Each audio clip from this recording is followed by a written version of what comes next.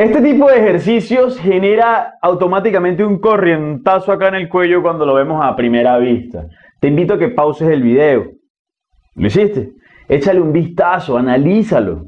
Ve que, de, de qué forma puedes resolverlo, qué te están pidiendo.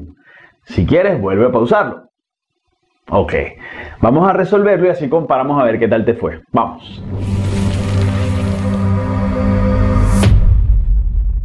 Muy bien, mira que básicamente lo que estamos buscando es qué expresión de las alternativas es equivalente a esa que tienes allá arribita. Yo lo voy a escribir acá. ¿Qué condición hay? Míralo allí. El valor de x, el valor de y y el valor de z pertenecen a los números enteros negativos. ¿Qué quiere decir eso? Que tú vas a colocar aquí son valores negativos. No se pueden utilizar valores positivos para este ejercicio, ojo, para este planteamiento. ¿Cuál de esas opciones que está presente dentro de las alternativas es equivalente a esta entonces? ¿Qué es lo que podrías hacer tú? Probar con valores, prueba con números a ver cuánto da esto. Y esos mismos valores los pruebas allá y ves cuál te da igualita a esta.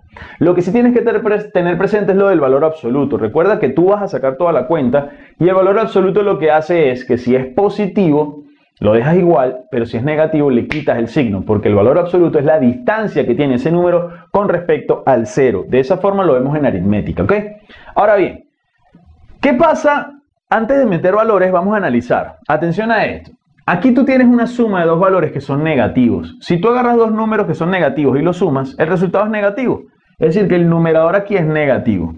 Cuando lo divides entre z, que también es negativo, mira que arriba te queda negativo entre un valor negativo menos por menos es más. Esta fracción da positivo. No importa qué valores tú tomes. ¿Me sigues la idea? Ahora mira esta. Un valor negativo con otro negativo cuando lo sumas sigue dando negativo en el numerador. Entre un valor que es negativo, menos por menos da más. Pero tú tienes ahora la multiplicación de dos resultados que son positivos. Más por más siempre va a dar positivo. Es decir, que lo que está dentro del valor absoluto da positivo. Conclusión, las barras del valor absoluto no son necesarias para esa expresión si x, y y z son negativos. Mira que siempre eso da positivo porque más por más, esto siempre va a dar positivo. Conclusión, ¿cuál de las alternativas se parece a lo que acabo de dejar acá sin valor absoluto? a la B, ¿cierto? Que de hecho, mira la A. La A es, si tenemos esto, sí, efectivamente es igual a lo que teníamos ahí al principio. Pero si le colocamos un negativo aquí afuera, le cambia el signo. Entonces no es una, no es una expresión equivalente. La C, la C básicamente es, bueno, vamos a quitarle las barras de valor absoluto. Sí, está bien, ya habíamos dicho que esto era positivo, pero más por menos da menos, le cambia el signo. Conclusión, la C tampoco te sirve.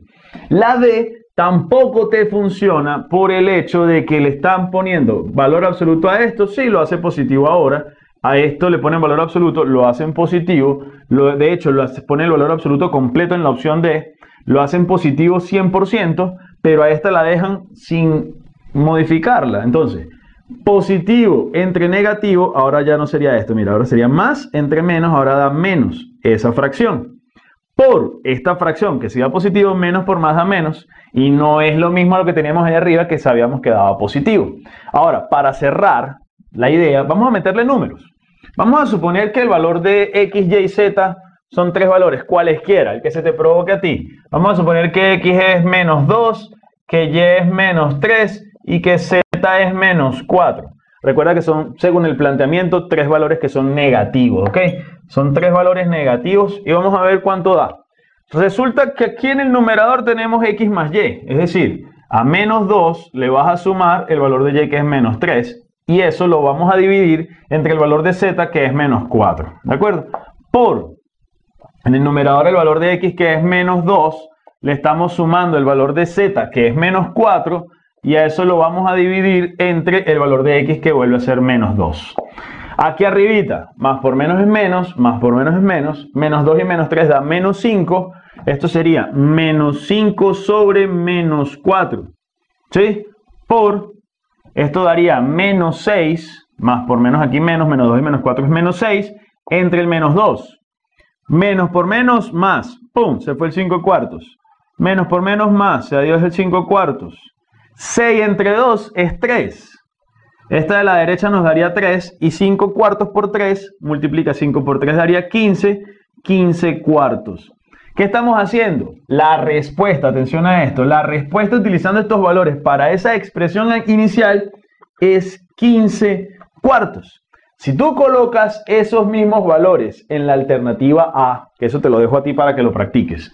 Si tú colocas esos mismos valores en la alternativa A, en la alternativa C y en la alternativa D, te va a dar esto pero con el signo contrario, te da menos 15 cuartos y por lo tanto no son expresiones equivalentes. Si lo colocas en la B, mira que no necesitas las barras de valor absoluto para que la alternativa B, que es esto, ¿sí? X más Z sobre X, si tú colocas esos valores allí, ya de una vez eso acabamos de comprobar que no necesita las barras y que sí da el 15 cuartos. Por eso la alternativa B, así como está ahí escrita, es la respuesta correcta. Espero que haya quedado claro, es un poquito conceptual. La idea es que lo pensemos con aritmética, que metamos valores para, para practicar, para practicar operaciones, qué significa esto, y es una breboca para álgebra, que eso lo vamos a ver en el siguiente tema. Espero que hayas entendido, nos vemos en el siguiente ejercicio y recuerda que tienes asesorías personalizadas y asesorías grupales a tu disposición. Chao.